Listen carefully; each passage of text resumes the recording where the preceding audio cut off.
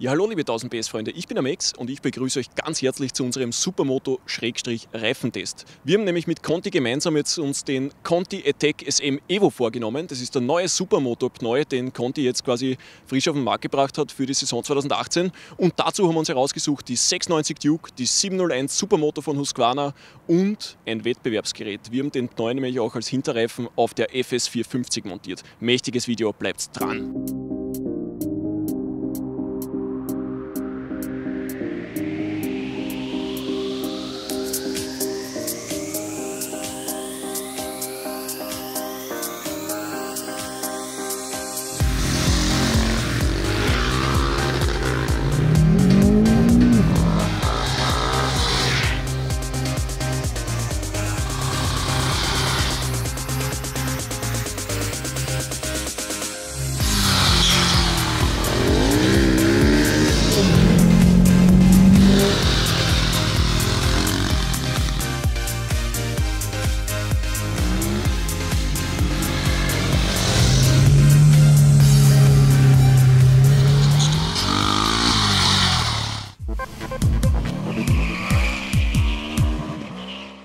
So, liebe Leute, Conti hat wie gesagt den Supermoto-Reifen äh, überarbeitet und hat jetzt wie gesagt 2018 den ganzen Update verpasst. Die wesentlichen Neuerungen im Detail sind einfach, dass man ein bisschen höhere Laufleistung erzielt mit dem Reifen. Das Compound ist eben neu gekommen und auch der zweite Punkt, wo wirklich daran gearbeitet worden ist, äh, ist eben die, die Nass-Performance. Also da hat es eine Mischung gegeben, jetzt dann, die mehr Silika-Anteil hat. Silika ist nichts anderes als eigentlich ein, ein Weichmacher, kann man sagen. Und äh, damit erzeugt man einfach, dass das Ganze bei Nässe ein bisschen ein vertrauensschaffenderes und, und äh, ja, einfach sichereres Handling hat und das Ganze auch noch kombiniert mit einem breiteren Grenzbereich. Und somit macht man diesen Reifen vielleicht einen Tick alltagstauglicher und einen Tick auch äh, zugänglicher für ein breiteres Publikum und äh, nicht nur für diese Hardcore-Supermoto-Ecke. Ja, äh, positiver Nebeneffekt von dieser Compound-Änderung ist, da habe ich gestern noch mit den Conti-Technikern am Telefon ein bisschen geplaudert, dass dieser Vorderreifen jetzt mit der neuen weicheren Mischung ein bisschen ähm, ein transparenteres Feeling und im Endeffekt auch mehr Grip vermitteln soll. Äh, ja, ich selbst bin natürlich schon oft Supermoto gefahren, aber ich bin beileibe kein Profi und da haben wir heute zwei Experten besucht. Ich schaue mal schnell rüber. Da haben wir den Erwin zum einen, ein absoluter Supermoto-Crack. Ich meine, Erwin, du hast dir da heute Stoff gegeben. Ich glaube, du hast richtig Spaß gehabt, sowohl mit den Bikes als auch mit den Reifen, oder? Ja, war richtig Spaß gehabt. Ja, wieder mal ähm, auf der Strecke super gewesen. Und dort, wo wir waren, in wo waren wir? Ich weiß in der buckligen Welt waren wir unterwegs Richtung Schwarzenbach. Da haben wir einfach enge Serpentinen gehabt und äh, einfach wirklich coole Kurven. Es war auch trocken, momentan im Hintergrund, man sieht es vielleicht, es ist ein bisschen jetzt so eine Regenschauer drüber gezogen, aber die Fahrerei, sprich, ich glaube bis 14 Uhr haben wir wirklich trockene Straßen gehabt. Das hat gepasst, also lasst sich nicht verunsichern. Also für die Verhältnisse, der Reifen hat man wunderbar taugt. Also ja. Genau, und als zweiten Experten, jetzt schaue ich da schnell herüber, habe ich mir den Tibor Simai gekrallt. Aufmerksame 1000 PS-Zuschauer haben den Typen jetzt vielleicht schon mal gesehen bei uns. Der hat nämlich mit uns gemacht äh, den Naked Bike Vergleichstest. Und äh, Tibor, stell dir mal ganz kurz selber vor, so in ein paar Sätzen. Was magst denn du, woher kommst du und wieso fährst du jetzt Motorrad und das Ganze bei 1000 PS noch dazu? Ne? Also mein Name ist Tibor Simay, ich bin 46 Jahre alt und ich bin äh, von, von, der Leidenschaft Mountainbike eigentlich in den Profisport gekommen.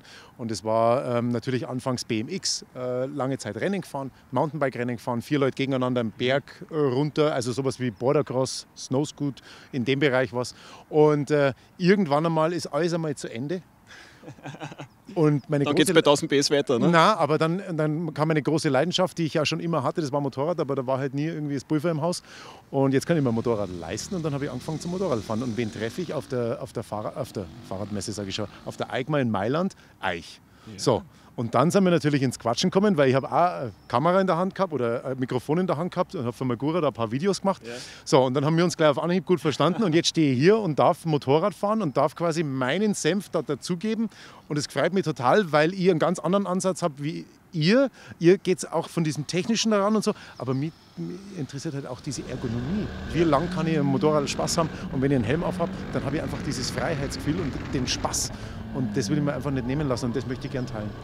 Ja, und der Tibor hat es schon in Grundzügen angesprochen, er hat halt einfach ein irrsinniges Feingefühl für Themen Ergonomie, Grip, äh, Sitzposition etc. Und deswegen äh, bin ich eigentlich sehr froh, dass wir die heute hier auch dabei haben. Und er ist ein bisschen ein Tiefstapler. Also er ist jetzt zwar noch nicht so lange am Motorrad drauf, aber der Typ kann echt was. Ja. Also ich habe gesehen, der hat richtig Spaß gehabt da heute auch äh, mit den zwei Supermotos und äh, alle Kurven quer und am Hinterrad und Wheelie. Und na, es war einfach eine mächtige Fahrerei, die wir da am Vormittag gehabt haben. Aber jetzt reden wir nicht so lange herum, gehen wir vielleicht äh, ein bisschen näher auf den Reifen noch ein, vom subjektiven Feeling her.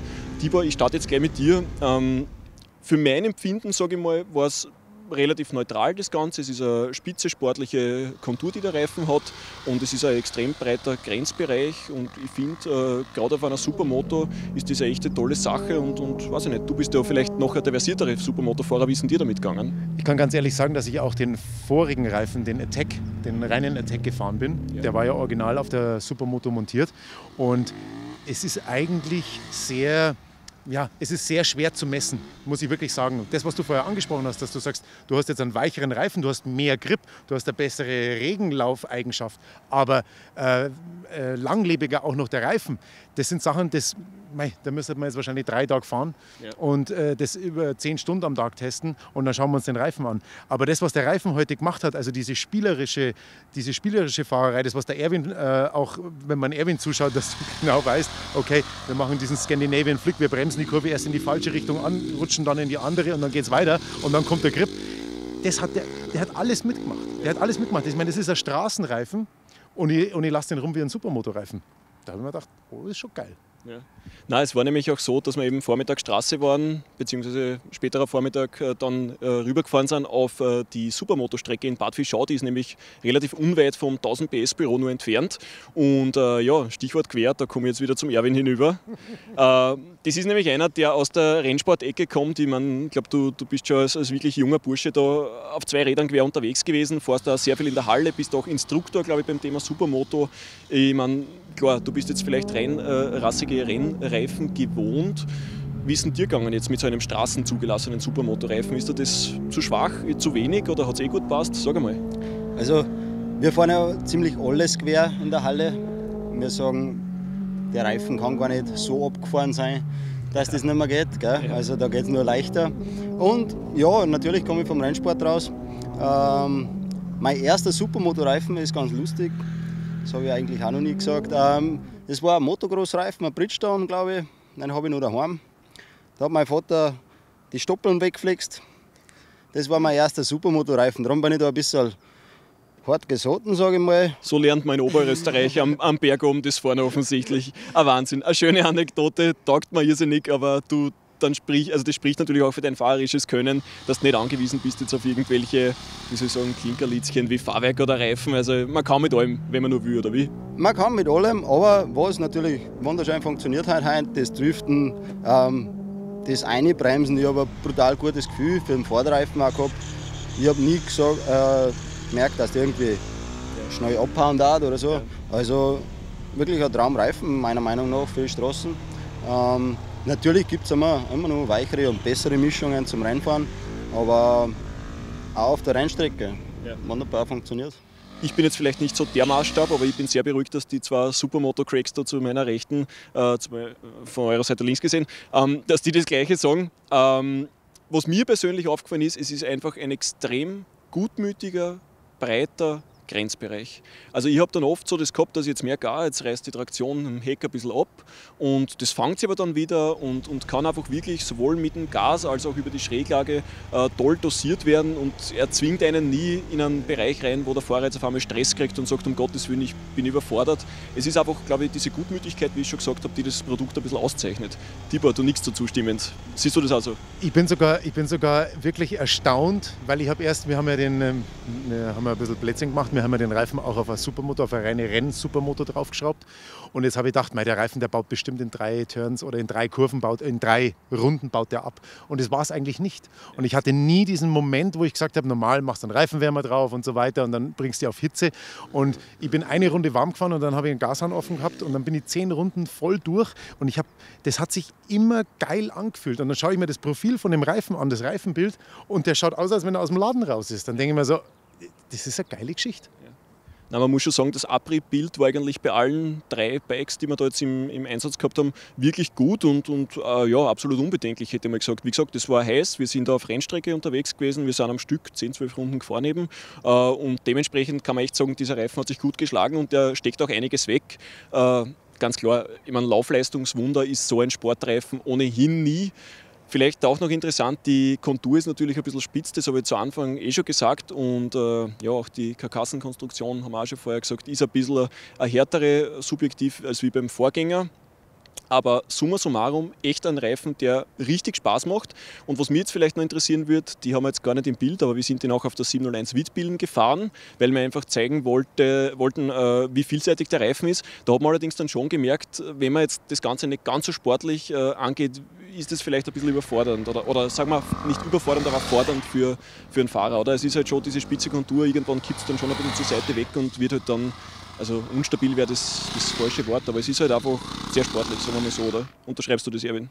Ja, ich glaube draußen in der Landschaft kein Problem, aber im, Stadt, im Stadtbereich, wo wirklich langsame Kehren oder so sind, ja. ist, ist wirklich schwierig zum Fahren gewesen. Ist mir vorgekommen, es ist leicht einknickt, das Vorderrad. Ähm, kann natürlich auch an der Sitzposition von der Wittbullen äh, liegen, aber da hat mir nicht so so zugesagt, der Reifen. Natürlich, wenn es schneller geworden ist, ist es wieder besser geworden. Ja. Genau, würde ich eigentlich genauso sagen. Darum haben wir auch nur die Bikes da jetzt bei uns stehen, aber gehen wir es vielleicht von Anfang an kurz durch. Starten wir bei der 690 Duke. Gehen wir vielleicht mal ganz kurz auch auf das Konzept ein. Es ist ja sehr interessant. Da gibt es ein zweites Video, das am heutigen Tag entsteht. Da haben wir nämlich wirklich äh, so einen Naked Bike Supermoto Retro Bike Vergleichstest gemacht. Äh, drei Bikes, gleicher Motor, quasi gleicher Hersteller unter Anführungszeichen. Es ist ja kein Geheimnis, dass Husqvarna da bei KTM sehr stark äh, mit drinnen steckt und dass sie die sehr viele Produkte auch teilen ist halt so, ist ein wirtschaftliches Prinzip heutzutage, wird bei anderen Herstellern genauso gemacht. Äh, aber summa summarum sind jetzt die drei Bikes, die wir da stehen haben, echte Spaßgeräte und starten wir jetzt schnell mit der 690 Duke. Das ist halt ein Eisen, Einzylinder, aber mit wirklich toll anerzogener Laufkultur. Es ist, glaube ich, auch ein Bike, wo sich Anfänger sogar wohl darauf fühlen. Äh, komfortable Sitzposition, gute Ergonomie im Allgemeinen. Das Fahrwerk ist auch wirklich schwer in Ordnung. Tibor, ein paar Worte zu 690 Duke wird es dir taugt heute? Auf alle Fälle hat es mich sehr überrascht, weil ich gedacht habe vom Konzept her, okay, das ist jetzt von der Form her oder vom Aussehen her nicht mein Moped, weil ich so auf die Supermotos stehe. Aber es hat mich so überrascht, dass ich nach zwei, drei Fahrten äh, in, der, in der buckligen Welt habe ich gedacht, ich will gar nicht mehr absteigen. Weil natürlich das Fahrwerk nicht so abgesackt ist, weil es natürlich weniger Federweg hat. Und ich fand die Federung sehr progressiv. Das heißt, hinten raus ist das schön hart geworden. Das war kein harter Anschlag, sondern war, ist immer schön hinten raus härter geworden. Und mit dem Reifen habe ich dann irgendwann äh, irgendwann rumgespielt, äh, weil der Erwin hat mir dann gezeigt, wie ich alles abschalten kann. Und dann habe ich so das Grinsen im Gesicht gehabt, dass ich versucht habe, so zu fahren wie der Erwin und bin nur noch am Rutschen gewesen und am Reindriften und wieder am Rausbeschleunigen. Und ich habe immer alles unter Kontrolle gehabt. Das war geil. Und ich glaube, da ist jetzt auch dieser Reifen wirklich äh, wesentlich beteiligt daran, weil einfach der diese, diesen sportlichen Fahrstil ja, möchte, wegsteckt, gut kann, wie auch immer man das formulieren möchte. Erwin, wie siehst du das? Ich glaube, es harmoniert wirklich gut, dieser Conti mit der KTM, oder? Mit der KTM funktioniert der Reifen top, auf alle Fälle. Der Tibor hat reinfahren in die Kurve schon besprochen. Ähm, ja, rutscht weg, aber kontrolliert, wirklich cool. Dann rede ich über das Rausfahren. Wirklich, du hängst drin, der Reifen geht, da, okay, ABS äh, oder Traktionskontrolle regelt ein bisschen. Der Reifen fangen sie wieder. Also nie das Gefühl gehabt, oh, das geht nicht mehr, sondern wirklich einfach nur ein Grenzer im Gesicht und, und geil ist. Das ist wichtig, weil das macht letzten Endes also diese Emotion auch das Motorradfahren aus. Und äh, wenn man da eben gut besohlt ist, möchte ich jetzt mal sagen, mit dem Produkt von Conti hier in dem Fall, äh, ist es natürlich eine umso größere Freude. Und äh, umso größere Freude, muss ich ehrlich sagen, war es auch dann mit der 701 Supermoto von Husqvarna, weil die war eigentlich dieses Bike, was für diesen ja, Supermoto-Gedanken und für diese Tests, die wir heute eigentlich da äh, vorgesehen gehabt haben, perfekt geeignet war. Schauen wir schnell rüber.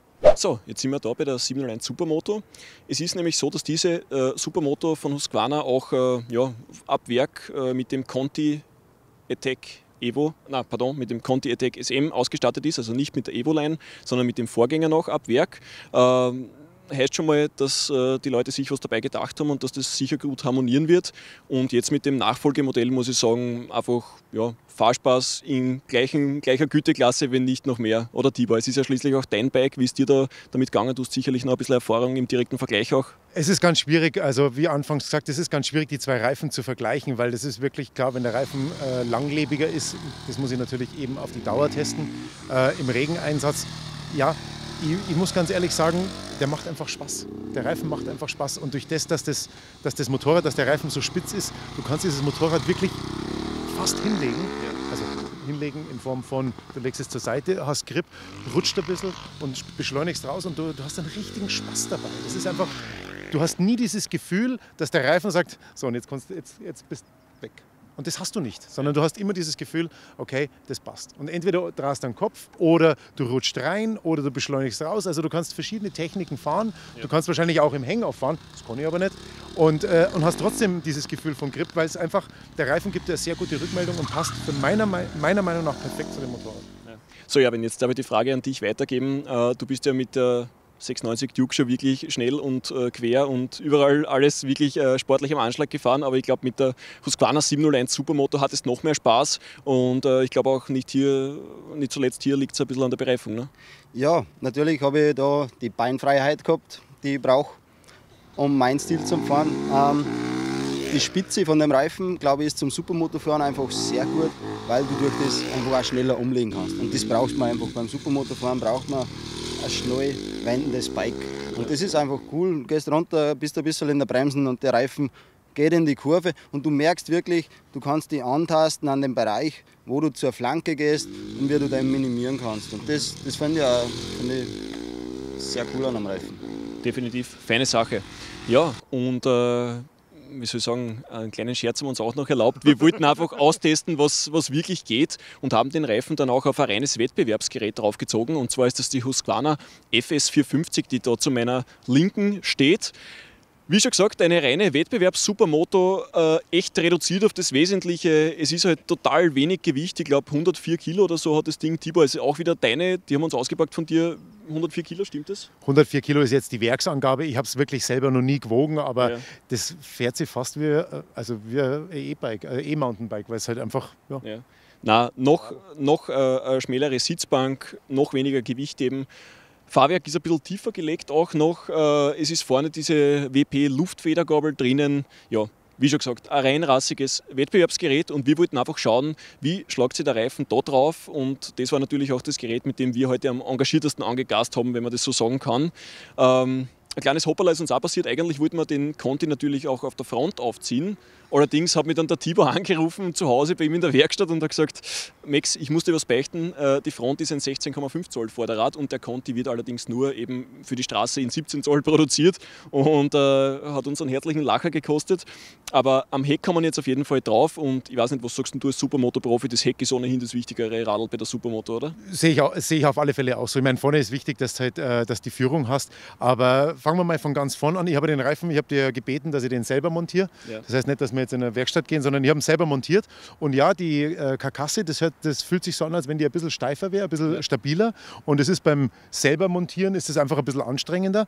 Und beim Supermoto ist es generell so, du hast einen Rennreifen drauf, da hast du deine Reifenwärmer drauf, dann brauchst du die Reifen auf Temperatur, dann fährst du rum. Das ist alles immer sehr aufwendig. Und heute habe ich mir gedacht, dann habe ich noch mit dem Erwin geredet und habe gedacht, oh, jetzt muss ich vorne einen Reifenwärmer drauf tun, weil sonst wird der Reifen nicht warm. Und so. Also vorne Reifenwärmer drauf, hinten natürlich nicht. Ja. Innerhalb von einer Runde hat sich der Reifen angefühlt, als wenn ich einen Reifenwärmer drauf gehabt hätte. Ja. So, und dann habe ich mir gedacht, ja gut, der wird jetzt nach drei Runden oder vier Runden wird der abbauen. Ja, ja fehlgeschlagen, eben nicht. Mhm. Also der Reifen hat in jeglicher Schräglage beim Rausbeschleunigen, beim Reinbremsen und so weiter, ich habe gedacht, irgendwann muss doch der, der, das hat sich immer angefühlt, als wenn ich einen reinen Rennreifen drauf gemacht hätte. Ja. Und das ist, finde ich, meiner Meinung nach eine geile Geschichte, weil vielleicht kann ich mir auch die Reifenwärmer sparen, weil die kosten nämlich 600 Euro. das ist natürlich ein interessanter Gedanke und ich finde es ganz toll, dass du das so siehst. Erwin, was mich jetzt äh, interessieren würde, na, du bist ja jetzt äh, wie gesagt, eher der Profi. Welchen Reifendruck fährt man so normalerweise bei so reinrassigen Renn-Supermoto-Reifen? Ja, ähm, direkt von, von, von der Renngeschichte bin ich schon eine Zeit lang weggegangen. Okay. Ähm, was wir gefahren sind, wir sind ziemlich wenig gefahren, äh, so zwischen 1,2 und 1,6 glaube ich, sowas war das. Also 1,6 am Heck und 1,2 an der Front? Oder, oder generell Ge Ähm, geht es nur ums Heck jetzt? Äh, kommt auf die Strecken natürlich auch darauf Ja. an, auf die Temperatur. Ja. Ähm, wie gesagt, ich muss halt liegen, ich bin da ein bisschen zu lang weg von der Materie, Okay. was man heutzutage mit den Reifen fährt. Ähm, ich weiß bloß nun in der Halle. Ja, was man definitiv halt sagen kann, im Rennbereich fährst du mit weitaus niedrigerem Luftdruck als auf der Straße. Die Herge äh, Herstellervorgabe in den meisten Fällen ist einfach 2,5 an der Front, 2,9 am Heck. War das Ganze. Äh, nur ja, jetzt sind wir halt hergegangen und haben da auf der Strecke den Druck abgesenkt. Tibor, ich glaube, du hast äh, die, die äh, Luftmessfolie in der Hand gehabt. Genau, ich habe ihn jetzt einmal kalt auf, auf 1,8 und äh, als er dann warm war, hat er ein bisschen zu viel gehabt, da habe ich nochmal was abgelassen. Dann hat es aber leider zum Regnen angefangen und vorne fahre ich 1,4, 1,45, wenn er warm ist. Ja. Also wirklich weniger, um einfach mehr Grip zu bekommen, mehr Auflage zu generieren. Genau, genau. Und damit der, der Reifen auch punktuell, glaube ich, nicht so heiß wird, gibt man halt eben für Rennbedienungen weniger Druck rein, breitere Auflagefläche und durch die Temperatur, durch dieses Walken am Asphalt bekommt ja der Reifen dann ohnehin eben höhere Temperatur und dementsprechend baut sich auch mehr Luftdruck im Reifen auf. Und äh, ja, hat uns einfach nur interessiert, wie weit kann man den Druck runtergeben, beziehungsweise was fährt sie dann für den Rennbereich auch eben hier gut. Und da sind wir dann eben von 1,8 auf 1,6 gegangen und waren damit dann aber eigentlich sehr zufrieden. Ja, ich meine, Ja, und wenn du das, Entschuldige, und wenn du das Profil anschaust, schau dir an, das sind jetzt zwölf, äh, zwölf Runden gewesen, der schaut aus wie aus dem Laden.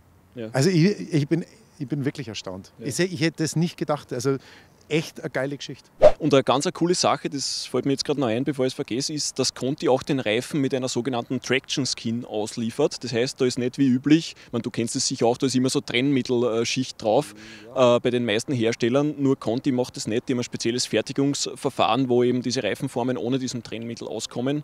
Und dementsprechend, ich meine, wir haben ja heute eigentlich nicht irgendwie eine Einfahrphase gehabt, die sind in der Früh montiert worden, die Reifen.